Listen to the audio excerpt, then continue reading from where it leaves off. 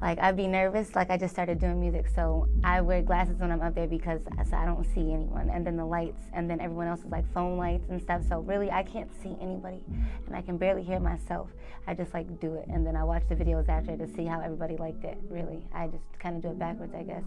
Yeah, it's cool. I honestly thought because I know a lot of people wear the glasses just for fashion because they seem pretty fashionable. I don't know if. I mean, I, that's the you know you gotta disguise it, but really it's because I I have bad anxiety, so I wear them so that like even when my eyes are open, it's like red. My glasses are red. Red's my favorite color. Um, but so I wear them. I can barely see anybody. Really, it's awesome.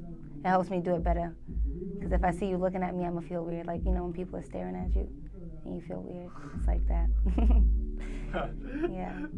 All right, then. Uh, I'll keep that in mind next time. We'll look at the ground or something. No, I want you because like I still look straight at the people like I'm like you would think I'm looking right at you, but I can't see you. But that's the trick.